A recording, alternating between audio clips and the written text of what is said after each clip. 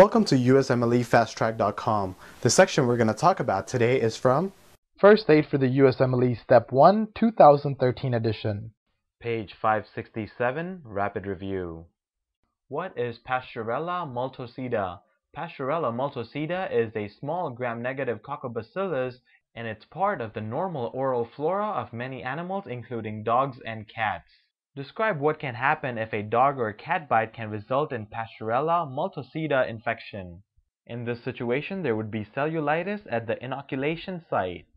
For more information on this topic, click on the link in the description section below. For a full USMLE Step 1 review, be sure to check us out at usmlefasttrack.com where we help you review the entire first aid for the USMLE Step 1 with high quality videos and hundreds of detailed pictures for a better understanding of the material.